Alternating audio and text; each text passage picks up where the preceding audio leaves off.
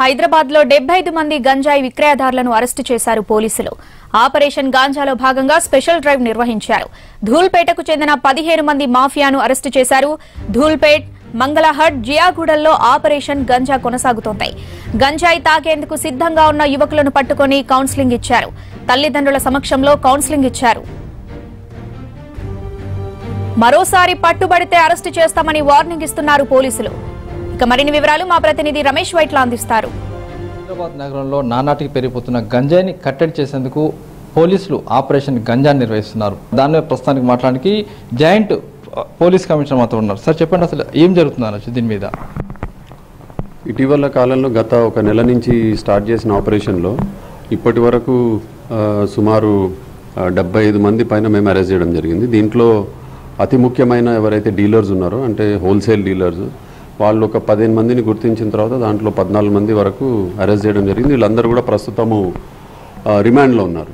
దీంట్లో ఎక్కువగా యూత్ కావచ్చు సాఫ్ట్వేర్ ఇంజనీర్లు ఆ ప్రాంతానికి వెళ్ళి తీసుకుంటున్నారు.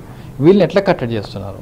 ఇది ఈ గాంజా ధూల్పేటలో సుమారు ఒక వంద మంది వరకు ఈ ప్యాకెట్స్ చిన్న ప్యాకెట్ చేసి నైట్ టైం అదేవిధంగా ఎర్లీ మార్నింగ్స్ కూడా వీళ్ళు ఇట్లా అమ్మేవాళ్ళు.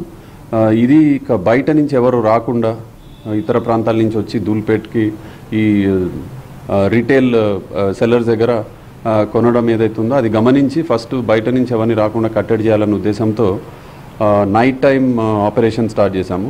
అయితే ఆపరేషన్ గంజా కొనసాగుతుంది అయితే ఆపరేషన్ గంజా సంబంధించినట్లయితే ఇప్పటివరకు డెబ్బై ఐదు మంది గంజా సెల్లర్స్ని అరెస్ట్ చేయగా ఇందులో పదిహేను మంది మెయిన్ ప్రధానమైన డీలర్స్ ఉన్నారు వీళ్ళని అరెస్ట్ చేశారు.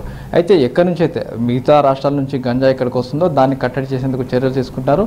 ముఖ్యంగా డే అండ్ నైట్ మొత్తంగా జియాగూడ ఆ ప్రాంతంలో జియాగూడ దుల్పేట ఈ ప్రాంతాల్లో పోలీసులు నిఘా పెట్టి ఎవరు అక్కడికి వచ్చి గంజాయి తీసుకోకుండా చర్యలు తీసుకుంటారు. అయితే ఈ ఆపరేషన్ కంటిన్యూ అవుతుంది. ఎవరైనా గంజాయి తీసుకుంటే కఠిన చర్యలు ఉంటాయని పోలీసు అధికారులు చెప్తున్నారు. కెమెరా పర్సన్ వెంకట యాదవ్తో రమేష్ వెట్ల ఏంటి